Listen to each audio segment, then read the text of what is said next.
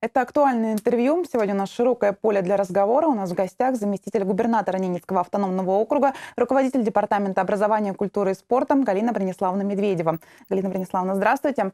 Начнем, Добрый пожалуй, день. с самого актуального на сегодня вопроса. Едином государственном экзамене, основном государственном экзамене, который ждут все выпускники, педагоги, родители. А если о сроках и процедуре экзамена, в принципе, уже все известно, то а, неизвестно, вот остается такой факт, можно ли присутствовать на экзаменах посторонним лицам? Ну, вы имеете, наверное, в виду, это общественные наблюдатели. Да. Да, а, есть возможность, но для того, чтобы попасть на экзамен, который достаточно закрыт и достаточно жестко регламентирован, несомненно, люди должны пройти аккредитацию. А, необходимо написать заявление в департамент, подойти а, для того, чтобы участвовать в этом экзамене, либо в Центр а, развития образования, который занимается ЕГЭ, и э, пройти аккредитацию. Аккредитацию можно пройти э, как учебу в Центре развития образования, так можно и выйти на сайт ЕГЭ федеральный и пройти в тестовом режиме дистанционно, прослушать курс и сдать экзамен, там тесты – и получить сертификат. А, действительно, общественный наблюдатель должен пройти обучение, потому что он должен знать, что он, на что он имеет право и какие у него есть ограничения. То Поэтому, есть стать может абсолютно да, любой человек. Любой человек, да, а, естественно, но нужно пройти аккредитацию. В том числе а, для того, чтобы мне, как руководителю департамента, поприсутствовать на экзаменах, посмотреть, насколько качественно и правильно идет, так скажем, начало экзамена, когда дети собираются, когда объявляются, предположим, вопрос, а когда заканчивается экзамен, э, пройти в пункт э, такого экзамена, проведения экзамена, я тоже могу, тоже, а, как только общественный наблюдатель, пройдя соответствующую аккредитацию. То есть общественный наблюдатель, он знает mm-hmm. все основные положения проведения государственного конечно, экзамена. Конечно, конечно. А, потому что ведь, э, во-первых, есть волнение детей, а второе есть, ну, как мы говорим, жесткие правила регламента, когда э, дети и так волнуются, да, и еще наличие посторонних людей, все равно постороннее для ребенка, оно вызывает определенное тоже напряжение. Поэтому э, любой общественный наблюдатель, да, он должен быть настолько незаметным, настолько ненавязчивым, чтобы дети его не ощущали. Это, наверное, прежде всего психологически связано с этим. А, например, психолог, чтобы присутствовать психологу в пункте сдачи, нужно тоже стать общественным Все, любой человек, который э, только э, члены ГАК могут пройти, и то это регламентировано. А вот все остальные, э, несмотря на то, что я возглавляю этот департамент, точно так же я должна пройти вот эту общественную аккредитацию, э, получить сертификат, и только после этого э, у меня будет право поприсутствовать вот в этом пункте проведения экзамена, в том или в другом. А определено какое-то количество общественных наблюдателей, допустим, их должно быть конкретное число, или это... Нет, э, конкретного числа нет, конкретного числа. Но, э, конечно, когда идет распределение, куда они могут попасть, то лучше как-то вот постепенно регламентировать, да, так, чтобы они э, не оказалось, что в одной школе их очень много и избыток, другой их недостаток. А в прошлом году сколько было примерно? Где-то число я не скажу. Разное количество, э, оно зависит. Это же, если брать, это ведь не только город. У нас два пункта проведения экзамена в городе, а 10 в отдаленных местностях. И поэтому, несомненно, там тоже есть общественные наблюдатели в муниципальных образованиях. Галина Брониславовна, а ведется в округе какая-то профессиональная подготовка, переподготовка кадров? А, есть, э, значит, мы готовим программу э, вообще подготовки да, кадров, э, ее необходимости, и начинаем, несомненно, со школьного возраста. Прежде всего, это эм, профильные классы, которые сегодня с 10, 10-11, они все профильные – а, как правило, это искатели Роснефть класс, четвертая школа химико-биологическое направление, это информационная технология пятой школы, а, ну, первая школа традиционно математика, да, физика, сильна третья школа гуманитарным направлением. И вот исходя из этого и определяются профили, где дети могут, несомненно, а, получить дополнительное, так скажем, да, образование – и определиться с будущей профессией. Несомненно, мы э, заинтересованы, чтобы обратно возвращались сюда, получив образование. Ну, кто-то идет по специальностям, востребованным в округе, а, кто-то рассматривает себя в какой-то другой сфере, да, ну, здесь зависит и от ребенка, ну и, наверное, от того, насколько мы вот эти профили сориентируем в своей жизни. И очень бы хотелось, чтобы мы с этого года возобновили э, с медицинской академией СГМУ города Архангельска, э, смогли бы возобновить вот этот класс медицинский, как мы его называем, или класс юного медика, который, в принципе, можно начинать даже с шестого, седьмого класса в рамках доп. образования. И чтобы ребенок уже мог почувствовать, сможет он быть медработником или нет – сможет ли он идти э, по этой достаточно сложной стезе, ну и так далее. Сможет ли он, предположим, э, быть химиком, биологом, э, технологом, да, пройдя. Для этого, в принципе, закуплено сегодня и достаточно широкое оборудование. Есть классы. Класс химии, физики, два класса закуплено, класс биологии. И вот в рамках сетевого взаимодействия, которое будет курировать Центр развития образования – мы как раз и будем давать возможность детям из разных профилей, из разных школ попробовать себя на элективных курсах, поработать на лабораторном оборудовании, специализированном вот в школах. То есть это не только, как говорится, класс физики, и это только первая школа. Это дети, которые могут во вторую смену, да, мы говорим, во вторую половину дня э, получать профильность вот элективных курсов. Галина Брониславовна, а вот какие специальности сегодня нужны нашему округу? Какие кадры? Ну, спектр широкий. А, прежде всего, нам нужны и педагоги, нам а, нужны а, работники с высшим образованием, дошкольного и среднеспециального дошкольного. Нам необходимы психологи, нам сегодня нужны работники культуры, которые должны получить да, образование специализированное, и нередко ведь на селе работают люди, профессионалы, знающие свое дело, но не все имеющие базовое, да, мы говорим, образование, которое будет способствовать только профессионализму и повышению качества предоставляемых услуг. Это инженерно-технические работники, это возможности э, работы сегодня и в нефтяной отрасли. Понятно, что э, жесткий отбор – в любую нефтяную компанию. И выпускник с высшим образованием нередко проходит от рабочего, но пройдя вот эту стезю, да, от рабочего, а нередко и для руко... до руководителя, они знают все, скажем, да, перипетии, которые есть э, в разном пласте вот, э, вот этой работы. Поэтому есть э, большая востребованность в рабочих кадрах. Поэтому сегодня активизировал деятельность многофункциональный центр при профучилище – а, когда мы готовим, переподготовку осуществляем для а, тех, кто работает на автогрейдерах, кто работает на КАМАЗах новых, для тех, кто работает эм, с электробезопасностью и так далее. Вот этот большой, мы говорим, да, спектр. Это необходимость э, обучить и повысить квалификацию, например, кочегаров, кочегаров и газовых котельной, ну и так далее – Поэтому э, вот эта востребованность, которая есть сегодня, а, она перекладывается и накладывает ответственность и на образовательные учреждения. Они должны очень четко понимать, что они готовить должны, как готовить и для кого. А, для того, чтобы каждый выпуск, мы говорим, да, был ну, в пользу. То есть если мы выпустили, они должны начать работать. Уже на школьной э, скамье да, сформировать со школьной, конечно, со школьной скамьи сформировать. Отсюда нужно, несомненно, и развитие научно-технического творчества, если мы хотим хорошие инженерные кадры. Галина Брониславовна, в этом году а, в марте стало известно о том, что отменит Селигер. Mm-hmm. Российский форум, на который ездило очень много молодежи, в том числе из нашего округа.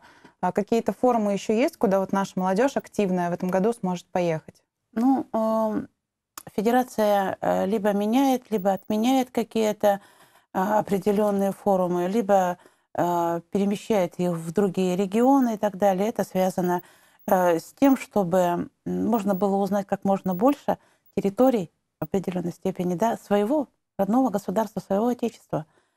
А, и мы сегодня говорим, внутренний туризм, он как раз будет даже связан с этим. А, но опасности нет, что дети никуда не поедут, ну, прежде всего, молодежь, да, Чаще всего на такие форумы ездят от 18 до 30 наша молодежь, которая чуть более 10 тысяч в нашем округе. Поэтому здесь есть э, два крупных форума всероссийских. Это Таврида, Крым. Это и образовательный, и обучающий, и воспитывающий, и развлекающий, такой мы говорим, форум. И второй – это форум на Клязьме, который в Владимирской области проводится. Это в рамках всероссийских форумов.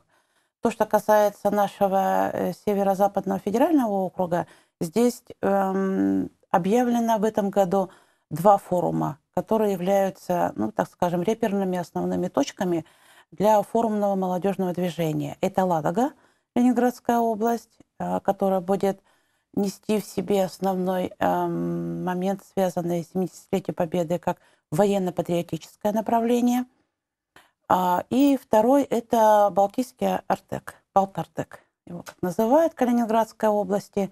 А, он будет нести, а, кроме военно-патриотической, еще обучающие. Будут различные площадки. И, в принципе, мы призываем и приглашаем всех к участию в этих форумах. То есть эти форумы не закрыты. Это нет такого, что мы кого-то отбираем там э, специально, да, бегаем, ищем. Э, просто молодежь может выйти на сайт «Молодежь 83», э, она может зарегистрироваться прямо на сайтах самих форумах, мы это отслеживаем. И э, затем, если, конечно же, количество будет больше, чем наша квота, чем мы можем позволить отправить и в рамках нашего бюджета и Сколько программы. мы можем позволить? На Ладогу мы можем позволить 15 у нас квота, Балтартек у нас 8 эм, человек, эм, шесть человек. Порядка восьми Таврида и пяти – это вот, территория смыслов на Клязьме. Э, зарегистрировавшись, если будет большее число, то либо идет отбор, как мы говорим, самых-самых звездочек, которые действительно себя проявили в молодежной политике, волонтерском движении, предпринимательстве, в зависимости да, от площадок.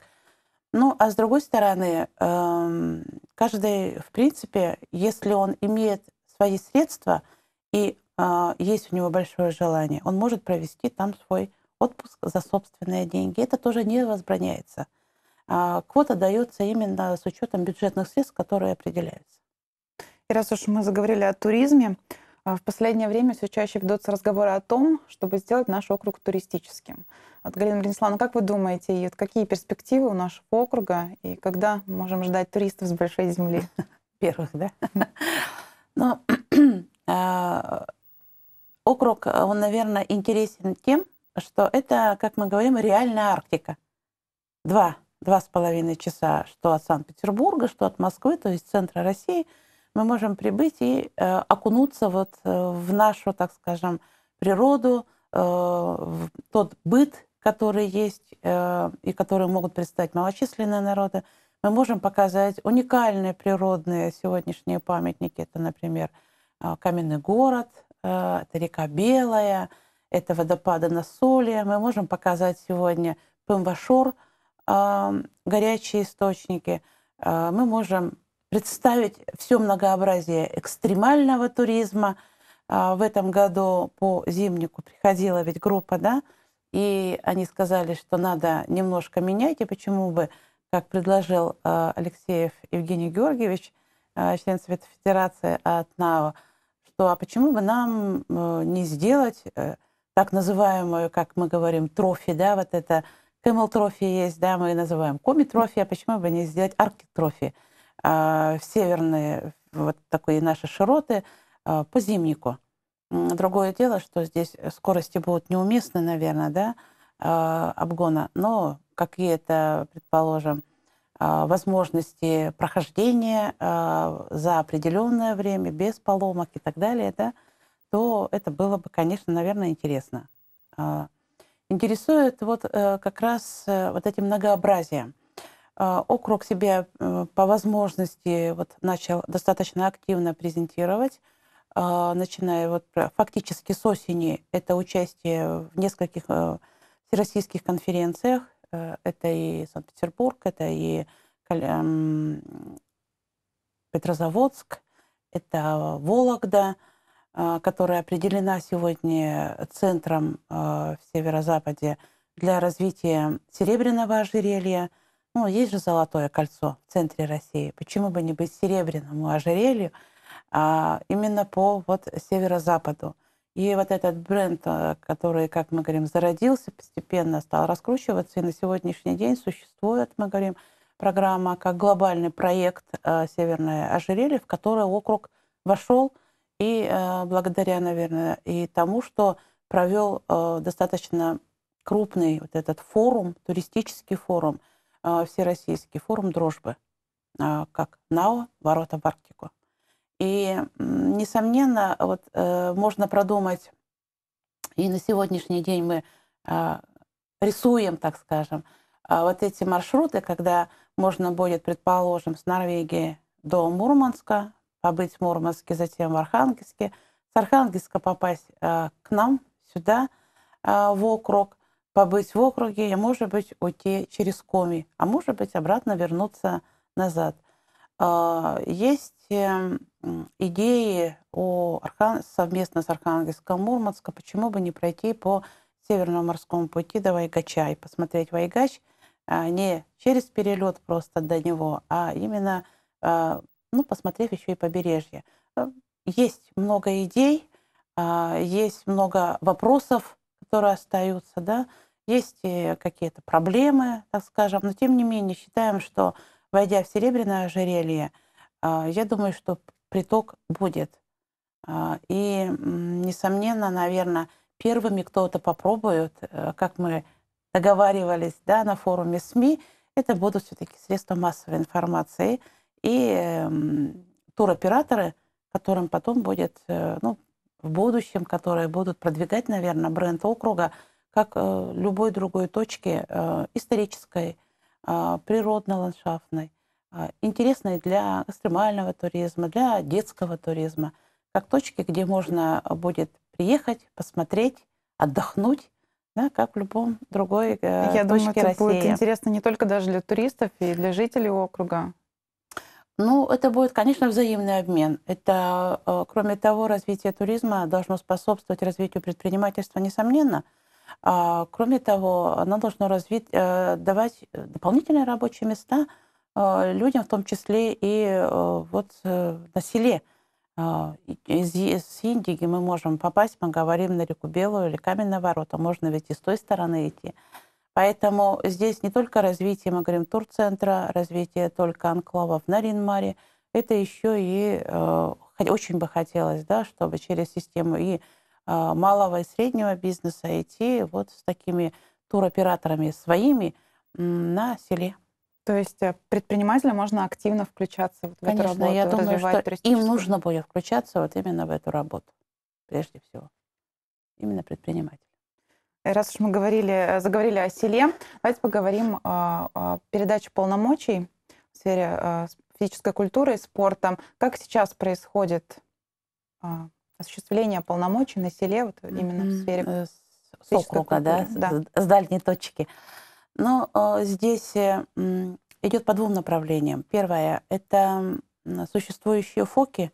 Э, красная, Негминос, это Коткина. Надеемся, что закончится в этом году, будет завершено строительство Воксина. Э, кроме того, завершено строительство уже передано Нижний Пеша. Да? В этих населенных пунктах, несомненно, спорт – идет и развивается вокруг вот деятельности вот этих фоков инструкторов, которые работают в них.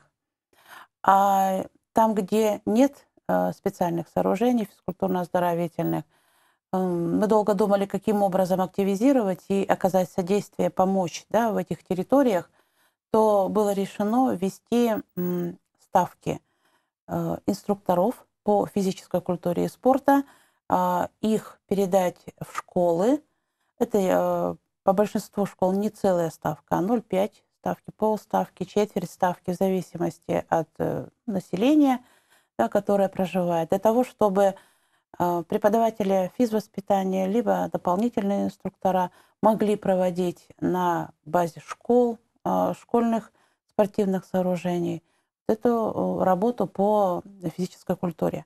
И сегодня основное, наверное, направление в физической культуре – это возрождение ГТО. Да, готов к труду и обороне. И это, э, мы говорим, с одной стороны, возвращение к прошлому, но все любое прошлое, оно ведь на новой основе.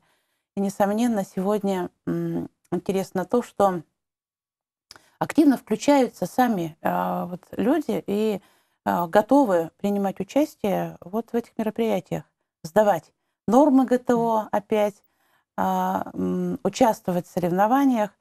Э, кроме того, существует календарный план этих спортивных мероприятий, когда мы проводим э, соревнования непосредственно здесь, в городе, как центральной точке. Мы проводим межпоселенческие, например, вот в Коткино, проводили, да, очень крупные, вот, красная и так далее. Ну, фактически вот на ФОКах межпоселенческие от двух до четырех мероприятий ежемесячно. То есть достаточно насыщенный календарный план ну, для проведения вот этих мероприятий, в том числе и, конечно, по национальным видам спорта. Галина Брониславовна, давайте поподробнее остановимся на ГТО. Для тех, кто не знает, что это такое, расскажите. Что такое было и что такое есть. Ну, а, мы говорим, комплекс ГТО, он включает в себя а, определенные параметры да, для каждой возрастной группы. Есть, предположим, а, я не буду удаляться да, вот на отдельные группы. Если вы захотите, можете пригласить наших специалистов. Они вам очень подробно, Игорь Павлович вам может рассказать, несомненно. Но вот этот комплекс ГТО он включает в себя легкую атлетику, то есть бег, он включает в себя э, отжимание да, от пола, э, качание прессом, ну и так далее. То есть комплекс э, зависит от возрастных категорий. И норматив тоже зависит от возрастных категорий. Администрация в прошлом году вот сдавала первый раз нормы ГТО. Мы попробовали, как это, ну то есть вернуться, да, это было замечательно. Самое главное, наверное, это еще и вот это совместное участие, а, поддержка друг друга, а, она приводит к каким-то другим чувствам, каким-то другим а, волнениям и заинтересованности. Я думаю, что с 15 по 25 мая мы проводим декаду ГТО для школ. Очень бы хотелось, чтобы это было активно, интересно, и чтобы дети действительно показали, насколько они уже сегодня готовы да, мы говорим труду и оборудованию, то есть насколько они физически зрелые и сегодня могут показать свою То есть силу. школьники уже смогут сдать нормативы да, или, они попробовать попробовать себя. сдать, да, у нас тестовые режимы идут, но тем не менее это декада, да, они будут сдавать норматив. А когда уже начнется действительно сдача? 16 года э, будет идти вот в режиме, да, но мы в тестовом режиме в этом году уже проводим. Ну, то есть планомерно, постепенно. Я думаю, что администрация в сентябре опять вся выйдет на сдачу КТО. Я думаю, к нам присоединятся активно и депутаты, средства массовой информации. Мы всех ждем. А с 2016 года все уже могут получить значок, удостоверение? Да, с 2016 года планируется, да. А как, допустим, а, вот простой человек, не школьник, э, не а, работник какого-то предприятия, вот, допустим, хочет сдать норму ГТО, куда ему можно будет обратиться? Ну, прежде всего, это будет, э, естественно, определять и комитет по спорту, потому что а, центральным, так скажем, по сдаче ГТО и а, кто будет проводить мониторинг, да, это ДЮЦ-лидер, поэтому будет прежде всего вот через идти вот эту базу, Поэтому, э, но календарь сдачи КТО и проведение его, конечно, будет составлен э, достаточно жесткий, потому что ну, просто э, войти в семьи за один день какой-то, когда я хочу, будет просто очень сложно, если очень много, да, то есть тут должно быть радость. Это должно быть радость, мы говорим. Ну и кроме того, судейская коллегия будет определять, если, предположим, школьники, да, это взрослое поколение, да, мы говорим, это молодежь. Но все-таки нормативы-то ведь разные. Я думаю, несомненно, готовы Да, но каждый, каждый, кто желает, он все равно сможет так или иначе присоединиться к группам и сдать ГТО. Наверное, надо сказать, что вот департамент, э, он достаточно э, несет такой большой объем да, деятельности, он, потому что эм, курирует образование, направляет эту деятельность определяет политику в области культуры, спорта, определяет, наверное, основные позиции в области, мы говорим, и надзора в сфере образования. Комитет по надзору в сфере образования вместе с полномочиями из Архангельской области перешел в округ. Кроме того, это, конечно же, туризм. Это охрана памятников. И тоже на уровне комитета отдельно, потому что это сегодня в рамках 76-го федерального закона а, мы должны определить, э, были как раз все субъекты, орган, который будет отвечать за э, охрану памятников э, культуры, культурного наследия на своей территории. А у нас один памятник федерального значения, а, есть памятники порядка 36 регионального значения, и поэтому их сохранность, их обследование необходимо проводить необходимо проводить. Ну, наверное, большой пласт занимает еще и молодежная политика, несомненно. Она тоже э, курируется нашим департаментом и определяется комитетом по молодежной политике. И исходя из того, что сегодня мы разрабатываем э, с депутатским корпусом, рассматриваем вопросы, и депутатский корпус готов принимать закон о патриотическом воспитании – обсуждение которого сегодня идет активно. А, кроме того, а, необходимость работы с допризывной молодежи. Э, сегодняшний Центр молодежных инициатив, мы меняем его немножко формат. А, это будет Центр молодежной политики и военно-патриотического воспитания, и в котором будет отдел по работе с допризывной молодежью. То есть э, меняется жизнь, меняются какие-то подходы, меняются, э, убираются какие-то стереотипы, наверное, да, появляется что-то новое. Э, всегда хочется идти вперед, а не стоять на месте. И отсюда появляются, наверное, э, новые какие-то направления в деятельности, появляются новые идеи, которые очень бы хотелось реализовать. А в заключение, наверное, хотелось бы поздравить всех с наступающим праздником Великой Победы, это действительно победа великая. И как бы сегодня ее не переписывали, западные, мы говорим, политологи или историки, ну, я бы сказала, наверное, псевдоисторики, да, те, кто переписывают историю, э, не стоят на тех позициях, как это действительно было. Я хочу поздравить всех ветеранов ветеранов, которых становится все меньше и меньше, к сожалению. Пожелать им здоровья, долголетия. А, хочется пожелать здоровья и счастья, долголетия а, всем нашим а, труженикам тыла, детям войны. Ну а молодому поколению, наверное, хочется пожелать, чтобы они не просто вспоминали о подвигах наших солдат, только в дни каких-то памятные, в том числе 9 мая, а просто они осознавали, что мы живем так и свободно сегодня, и мы суверенное государство только благодаря этой победе. Спасибо, Галина Станиславовна, за интересную беседу. Я напомню, у нас в гостях была заместитель губернатора Ненецкого автономного округа, руководитель Департамента образования, культуры и спорта Галина Брониславовна Медведева. Это было актуальное интервью.